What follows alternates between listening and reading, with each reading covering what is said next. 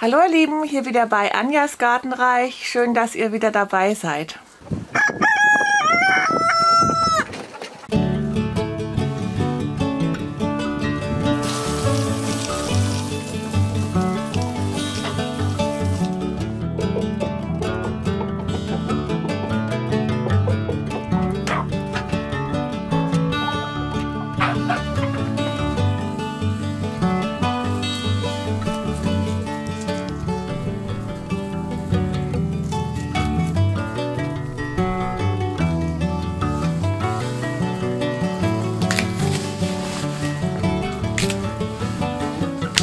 Lieben, heute mal aus der Kaninchenvoliere. Hier ist es schön warm, zumindest viel wärmer als draußen.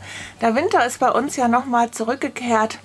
Und als erstes möchte ich mich mal bedanken für die lieben Kommentare, die ich unter meinem letzten Video gefunden habe und dass ihr euch einfach freut, wenn es regelmäßig bei mir Updates gibt.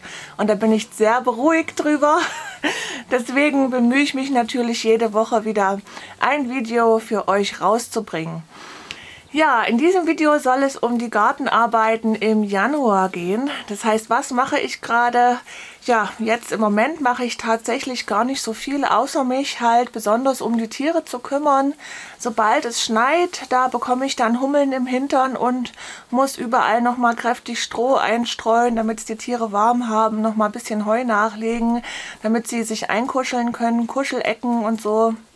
Ja, und das ist eigentlich so die Hauptaufgabe für mich, wenn es so schneit und halt regelmäßig zu schauen, dass die Tiere auch Wasser haben, dass das Wasser nicht einfriert und so weiter. Aber im Garten mache ich da natürlich gar nichts. Also der Garten ruht und es ist auch schön, denn dann komme ich auch mal mit meinen Arbeiten im Haus weiter.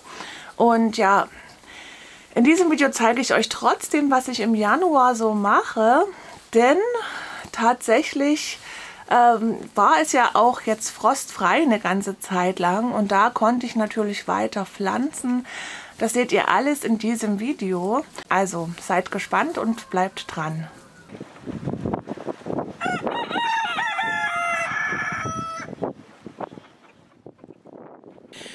Ja, jetzt bei frostfreiem Wetter lasse ich meine Seidenhühner, die kleineren Hühner, sehr gerne quer durch die Beete laufen. Und die fressen mir dann die Schneckeneier weg und finden auch das ein oder andere Würmchen. Und das mögen sie natürlich total gern. Das mache ich aber nur, wenn ich im Garten bin, weil ich einfach sonst die Hühner nicht vor dem Fuchs schützen kann. Und ja, und was ich jetzt hauptsächlich auch bei frostfreiem Wetter mache und natürlich, wenn kein Schnee liegt, ist Pflanzen. Ich pflanze ja jedes Jahr eigentlich ja vor allen Dingen meine Wildobsthecken weiter. Das heißt also, es ist schon so, dass mir ab und zu mal Pflanzen eingehen, im Sommer vertrocknen oder was auch immer von Wühlmäusen angefressen werden. Und dann äh, schaue ich halt und pflanze immer nach. Und gerade hier auf der Nordseite der Streuobstwiese, äh, wo auch der Wind immer sehr reindrückt, habe ich mir jetzt überlegt, ich möchte wirklich noch äh, ein bisschen was nachpflanzen, was immer grün ist, also was auch wirklich vor Wind gut schützt. Und ich habe auch äh, bemerkt, dass die Vögel unsere Nadelbäume sehr gut annehmen, dort auch teilweise sich gern reinsetzen, auch nisten, um dort einfach Schutz auch vor Greifvögeln zu suchen. Und deswegen habe ich jetzt hier ein paar Weißtannen und Nordmantannen, die ich hier nachpflanze. Und ähm, ja, ich bestelle mir dann immer aus äh, verschiedenen äh, Pflanzschulen, Baumschulen oder auch Forstpflanzschulen, Forstbaumschulen ähm, diese Wildobst oder auch äh, Wildgehölze, wie jetzt eben hier die Nordmantannen oder die Weißtannen.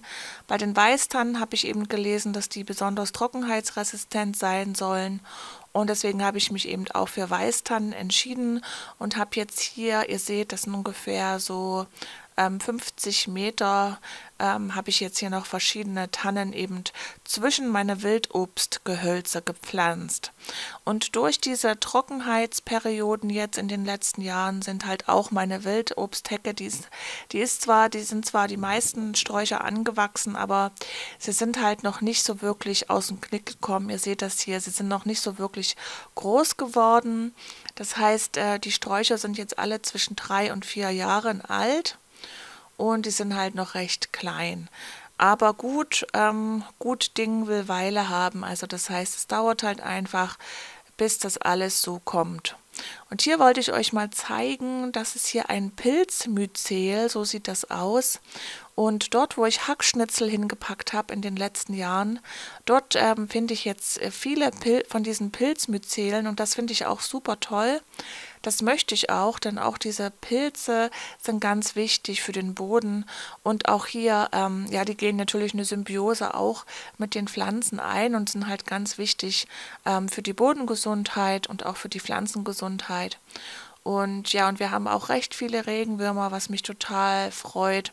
Und jetzt entferne ich einfach so ein bisschen die Grasnarbe hier um, um meinen Baum rundherum und werde dann auf jeden Fall noch irgendwelche ja, irgendwelches Mulchmaterial auf die Baumscheibe geben, damit die kleinen Tannen dann auch gut anwachsen können und damit wir dann hier irgendwann mal eine schöne große Tanne stehen haben. Wie gesagt, ähm, für die Vögel als Rückzugsort, als Windschutz und einfach, weil ich es toll finde, ganz viele Bäume zu pflanzen und eben, wie gesagt, jeden Winter reichlich ähm, Pflanzen setze. Ich habe das auch nochmal alles aufgeschrieben, nochmal notiert, was ich in diesem Jahr alles gepflanzt habe. Das lese ich euch jetzt einfach mal vor. Ja, in meinem Garten habe ich verschiedene Obstbäume nochmal nachgepflanzt und zwar die Pflaume, die Ruth Gerstetter, dann ähm, habe ich noch verschiedene andere Pflaumen äh, gepflanzt, auch Äpfel, den gepflammten Kardinal und den Dülmener Herbstrosenapfel. Die Mispel Nottingham habe ich gepflanzt im Garten, den japanischen Blütenhartriegel, denn davon kann, davon kann man auch die Früchte nutzen. Ich habe wieder etliche Korbweiden gepflanzt und äh, auch Saalweiden. Amerikanische Douglasia habe ich gepflanzt, Weißtanne, weiße Maulbeeren habe ich einige gepflanzt. Die möchte ich auch versuchen, mal mit meinen Lieblingssorten dann zu veredeln. Äh, also mit anderen Maulbeersorten praktisch. Dann Hainbuchen habe ich nochmal nachgepflanzt, wo ich einfach noch kahle Stellen in meiner Hainbuchenhecke gefunden habe. Berberitze habe ich gepflanzt. Ähm, verschiedene ähm, wilde Pflaumen, zum Beispiel die Kreke, die Zibarte, die Haferschlehe, die rote Mirabelle und äh, noch ein paar andere Wildpflaumen. Ja, und das war natürlich noch nicht das große Pflanzprojekt, was ich auf der Streuobstwiese gemacht habe. Dazu wird es nochmal ein separates Video geben. Das sind jetzt einfach Pflanzen gewesen, die ich ja an verschiedenste Stellen in meinen Garten gepflanzt habe, vor allen Dingen als Hecken. Meine Bäume und Sträucher, die ich jetzt noch nicht gleich pflanzen kann, die bewahre ich meistens so in Sand auf, dass die Wurzeln einfach in Sand eingeschlagen sind oder im Gewächshaus. Da kann ich sie auch einfach im Gewächshausboden einschlagen und ja, und so müssen sie dann warten, bis ich dann Zeit habe zu pflanzen. Und auch unsere Ausbüchshühner, die gehen immer gerne auf den Komposthaufen. Hier ist unser abgelagerter Kompost und ihr seht, hier ist auch jede Menge Vogelmiere drauf und da scharren sie natürlich gern rum und der sieht echt toll aus. Und zwar ist das einfach Mist vom letzten Jahr, den habe ich einmal umgeschichtet und habe den einfach ablagern lassen und der kommt dann wieder auf die Gemüsebeete. Das zeige ich euch dann natürlich auch wieder. Tja, und so sieht der diesjährige Misthaufen aus. Und sobald hinten der Misthaufen abgetragen ist und auf den Gemüsenbeeten verteilt ist, schichte ich dann den anderen Komposthaufen, also den großen Misthaufen einmal um und dann kommt der neue Mist aus diesem Jahr wieder auf den Haufen und so ja, geht das immer weiter und wir haben dann im nächsten Jahr auch wieder schönen Kompost. Tja, und so sieht das aus, wenn ich meine Erdbeeren sauber gemacht habe und mit Mist gemulcht habe, denn ich verwende gerne für die Erdbeeren gleich den äh, frischen Mist von den Kaninchen zum Mulchen und normalerweise mache ich meine Erdbeeren Erdbeeren immer schon im November sauber. Leider hatte ich dafür keine Zeit, also Oktober, November ist eigentlich dafür ein guter Zeitpunkt. Leider ging das einfach nicht und ähm, deswegen mache ich das jetzt noch. Also bei frostfreiem und eisfreiem Wetter, schneefreiem Wetter mache ich die Erdbeeren sauber. So sieht das vorher aus. Das heißt, hier seht ihr das ganze Laub noch und natürlich könnte man das Laub auch sehr gut als Mulch wieder liegen lassen. Allerdings befinden sich halt auch die ganzen kleinen Senker hier dazwischen Und ähm, die Senker, die müssen halt wirklich raus, sonst äh, wächst das Erdbeerbeet zu stark zu und die Pflanzen bedrängen sich dann gegenseitig und dann hat man einfach keine gute Ernte mehr. Es handelt sich ja um Kulturpflanzen und Kulturpflanzen muss man schon ein bisschen pflegen und deswegen mache ich das immer dann im Oktober bis eben Januar, dass ich meine ganzen ähm, Erdbeerbeete hier sauber mache, die ganzen Senker raushole und meistens hebe ich die Senker auch noch auf und dann schaue ich, ob jemand anders noch Senker braucht oder ich pflanze sie vielleicht in eine Baumscheibe oder so. Das heißt, äh, ja, ich habe hier zum Beispiel so einen kleinen Senker und dann nehme ich mir immer so einen extra Topf und da packe ich mir alle Senker rein und ja, die kann ich dann gut aufheben und woanders hin pflanzen.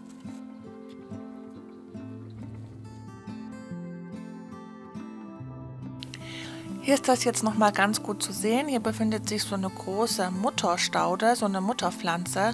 Und da hole ich zum Beispiel Gras oder Gundermann, also jegliche Beikräuter, die sich hier um diese Mutterstaude befinden, hole ich raus. Und auch das alte Laub, das entferne ich und das packe ich dann halt mit auf den Komposthaufen oder auf den Misthaufen drauf. Ja, und dann ähm, ist es eigentlich soweit fertig. Natürlich auch die Senker werden rausgeholt und so arbeite ich mich ganz einfach durch. Zum Schluss packe ich da eine Ladung von meinem Kaninchenmist drauf und wenn ich so viele Hackschnitzel übrig habe, kommt dann auf den Kaninchenmist auch noch Hackschnitzel obendrauf. Leider habe ich dieses Jahr noch keine Hackschnitzel bekommen. Ich hoffe, ich bekomme noch welche. Ja, und, äh, und dann ist es eigentlich fertig, das Beet. Und wenn man die Erdbeeren ordentlich mulcht, dann äh, gedeihen sie eigentlich auch immer recht gut. Im März dünge ich die dann nochmal nach mit Hühnerjauche. Das zeige ich euch dann im März. Ja, und hier hole ich jetzt hier so eine wilde Karde raus. Die haben sich bei mir stark versamt. Und hier an der Stelle möchte ich die einfach nicht haben, deswegen hole ich die raus und meistens mache ich das dann so, dass ich die dann auch gleich an eine andere Stelle pflanze. Und so entwickelt sich natürlich der Garten auch nach und nach. Ich mag diese Karden sehr gerne. Ihr werdet es gleich sehen, die haben ein wunderschönes großes Wurzelsystem und haben auch eine Pfahlwurzel. Da unten hängt sie dran. Die ist ein bisschen abgebrochen leider und können dadurch natürlich auch diesen harten, lehmigen Boden ganz gut sprengen und eben dafür sorgen für Wurzelkanäle und so weiter. Ähm, den Boden einfach damit auch ein bisschen äh, lockern und dann suche ich mir jetzt hier eine andere Stelle, hier zwischen meinen Himbeeren. Hier muss ich auch noch ran und das ganze Gras rausholen. Das ist auch immer ganz wichtig. Unter unserem großen Kirschbaum drunter. Und da habe ich mir jetzt gedacht, okay, mache ich da jetzt ein Pflanzloch und packe die Karde jetzt dort rein. Die Karde ist ja eine zweijährige Pflanze. Das bedeutet, im ersten Jahr ähm, bringt sie lediglich diese Rosette, bildet sie diese Rosette aus und erst im zweiten Jahr blüht sie dann. Das heißt, wir haben jetzt hier diese Rosette und dann wird sie jetzt im Sommer wird sie schön blühen und wird dann auch wieder Samen für uns ausbilden und die Samen natürlich wieder verteilen und so vermehrt sich die Karde dann nach und nach und versamt sich dort, wo sie eben gerne hin möchte. Und hier habe ich euch mal so einen Ausschnitt aus dem Boden ähm, rausgeholt. Fand ich mal ganz schön zu sehen, denn hier hat sich zum Beispiel auch wieder die Vogelmiere breit gemacht. Ist halt ein Zeichen für einen schönen, fruchtbaren, humosen Boden. Viele Regenwürmer befinden sich drin, was ich ganz toll finde. Und ihr seht auch, dass hier oben sich schon so eine schöne schwarze, humusreiche Schicht gebildet hat. Und zwar, weil ich mein Laub und auch die Pfirsichkerne, äh, äh, Kirschkerne und so, lasse ich hier halt immer liegen. Und da entwickelt sich dann halt so eine richtig schöne Humusschicht. Das heißt, ich sage ja auch immer Mulchen, Mulchen, Mulchen. Und der Kirschbaum hat natürlich richtig viel Laub und das kann natürlich gleich an Ort und Stelle wirklich verrotten und dann bildet sich da wieder Humus und auch die, die Kirschkerne und das Kirschkernfleisch, das wird alles zu Humus, das lasse ich einfach alles liegen, ich räche da nichts weg und ihr seht, wie schön dieser Boden aussieht, also mir gefällt er sehr gut und das kann man eben hier richtig gut erkennen, dass sich da eben Humus aufbaut, was wir ja auch gerne wollen. Hier sieht man das nochmal. Hier ist eine richtig schöne Laubschicht noch drauf vom Herbst. Und im Frühjahr ist das dann alles, alles größtenteils verrottet. Und man sieht hier richtig schön diesen humosen Boden darunter. Ja, und einen Teil der Senker habe ich gleich wieder getopft. Und zwar für eine, ein Schulprojekt, denn es soll ein neuer Schulgarten angelegt werden in der Schule ähm, von meiner Tochter. Da freue ich mich natürlich, da auch ein bisschen unterstützen zu können. Und deswegen werde ich hier zwei, drei Platten vorbereiten mit den Senkern gleich. Und da bekommen die gleich einen neuen ordentlichen Platz. Und wenn wir das Beet fertig haben im Frühjahr, werde ich euch das bestimmt mal zeigen. Ja, für ein schönes Schulgartenprojekt, das ist immer sehr unterstützenswert.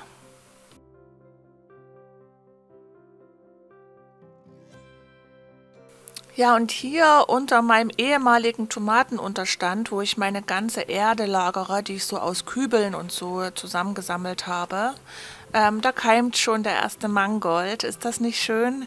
Das meine ich halt. Ja, wenn man seine Pflanzen aussamen lässt, dann ähm, hat man schon ganz zeitig im Jahr Jungpflanzen, ohne dass man was dazu beitragen muss. Man muss nur die Augen aufhalten und natürlich schauen, dass die Hühner die jetzt nicht alle wegscharren hier.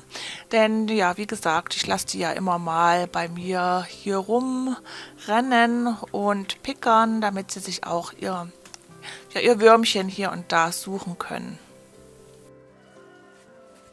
Ja, was ich jetzt auch im Januar und Februar gerne mache, wenn es frostfrei ist und nicht regnet, zum Beispiel hier die alten Triebe aus meiner Brombeere rausschneiden.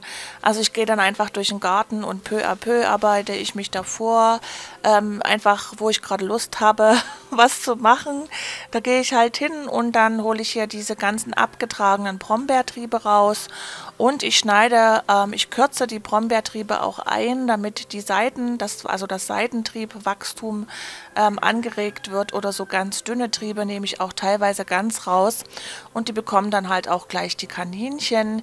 Ich habe hier auch an der Kaninchenvoliere wieder neue Himbeeren und Brombeeren gepflanzt und auch Weiden, eben als Futtermaterial für die Kaninchen, denn ihr, ihr seht ja, die lieben ja auch Brombeerblätter und ja, Weiden natürlich, ähm, Obstgehölz und so weiter. Meine Obstbäume werde ich aber erst dann ähm, im Februar schneiden, wenn es trocken ist und nicht mehr ganz so kalt. Und deswegen habe ich jetzt noch keinen Obstbaumschnitt, aber ihr seht hier Brombeerblätter, ja, und sowas eben bekommen sie halt auch.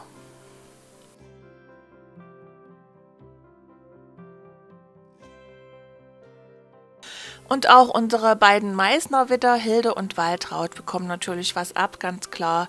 Ich habe sie echt ins Herz geschlossen. Sie sind zwar nicht so handzahm wie die anderen, aber man kann sie echt gut beobachten. Und ich genieße das immer, mich ab und zu mal mit in die Voliere zu setzen und sie einfach zu beobachten.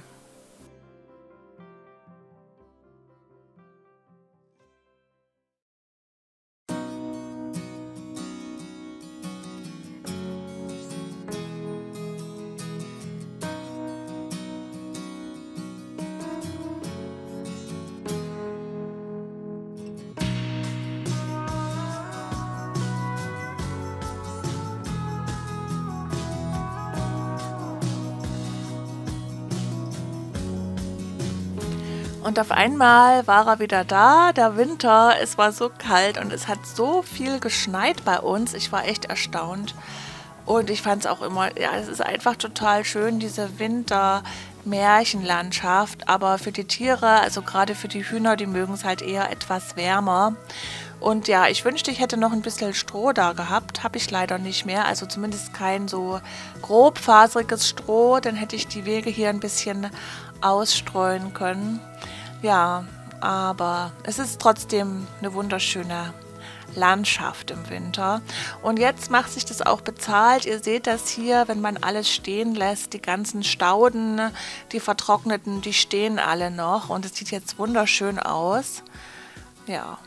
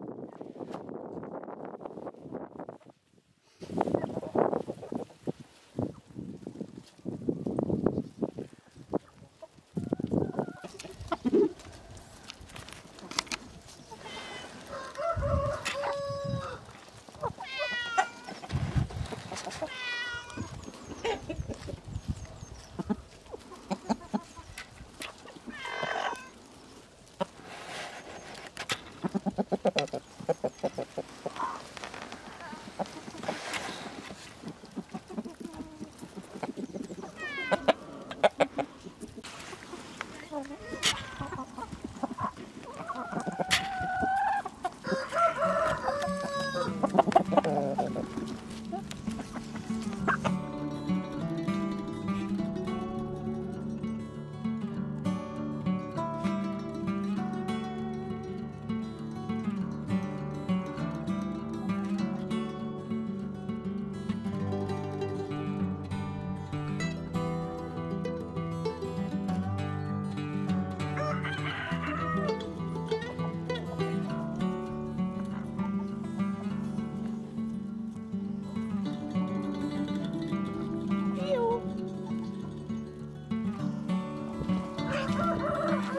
Ja, dann geht es auch wieder los. Ähm, das Wasser ist wieder eingefroren und das Wasser muss dann regelmäßig wieder aufgefüllt werden. Das heißt, ich mache das immer so, dass ich früh das Wasser auffülle und dann, bevor ich dann wieder ähm, hochgehe oder reingehe, ähm, dann mache ich das Wasser nochmal voll, tue es nochmal befüllen und dann auch, wenn ich die Hühner dann abends wieder einsperre, das heißt eine Stunde vorher, ähm, gebe ich dann nochmal Wasser und so haben sie eigentlich ausreichend Wasser über den ganzen Tag.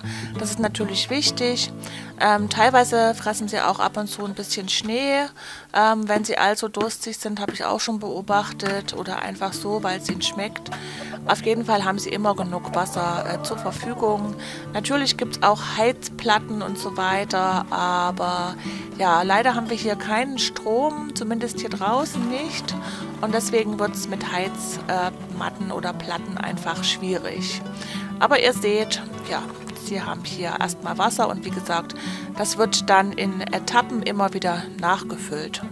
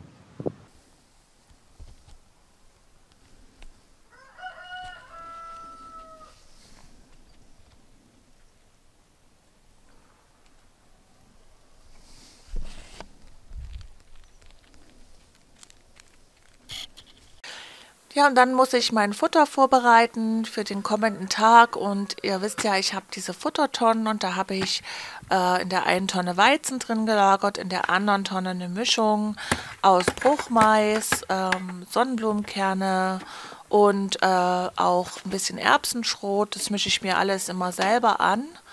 Und dann ja, kommt in den Eimer erstmal der Weizen rein, also da ja ungefähr 50 Prozent von dem Weizen oder 60 und der Rest ist dann eben das andere. Dann kommt noch ein bisschen Muschelgrit hinzu, einfach als äh, Kalkzusatz. Ja, und äh, das war es eigentlich schon. Und ab und zu bekommen sie natürlich auch mal gestampfte Kartoffeln mit bisschen Quark und oder ich bringe mal einen Salat mit oder irgend sowas. Ein bisschen ähm, ge geraspelte Möhre noch dazu. Das nehmen sie natürlich auch sehr gerne an. Das schaffe ich aber nur ein bis zweimal die Woche. Ansonsten bekommen sie halt diese Futtermischung. Und im Stall äh, füttere ich dann auch noch äh, teilweise so ein bisschen Legemehl denn die Hühner fangen jetzt auch schon wieder langsam an, ein bisschen mehr zu legen. Das heißt, es schwankt immer sehr. Wenn es jetzt wärmer wird, dann legen sie wieder mehr und sobald es wieder kälter wird, dann stagniert das wieder und wir haben nur ein, zwei Eier am Tag. Also das kommt wirklich ganz auch auf die Temperatur an, wie sich die Tiere fühlen und so weiter. Und dann ab äh, Ende Februar, Anfang März geht es dann wieder richtig in die Vollen. Ja, ihr seht schon hier die Sachsenhühner, die sind jetzt mit in der großen Gruppe. Die habe ich tatsächlich umgesetzt, weil ich mich dafür entschieden habe, erstmal keinen neuen Sachsenhahn zu holen und auch keinen erstmal auszu... Vielleicht brüte ich mal noch einen aus. Das weiß ich noch nicht. Auf jeden Fall bin ich mir noch nicht ganz sicher, ob ich die Erhaltungszucht der Sachsenhühner weiterführen möchte. Ähm, ja, das ist noch so ein bisschen am Schwanken. Die sind auf jeden Fall erstmal hier in der großen Gruppe mit und so habe ich die Möglichkeit jetzt auch im Frühjahr wieder den anderen Auslauf, also ihren Auslauf, den kleineren Auslauf vorne wieder neu zu begrünen und dann können die Junghühner für dieses Jahr auch wieder ins Grüne. Das zeige ich euch aber dann alles wieder im Laufe der nächsten Videos.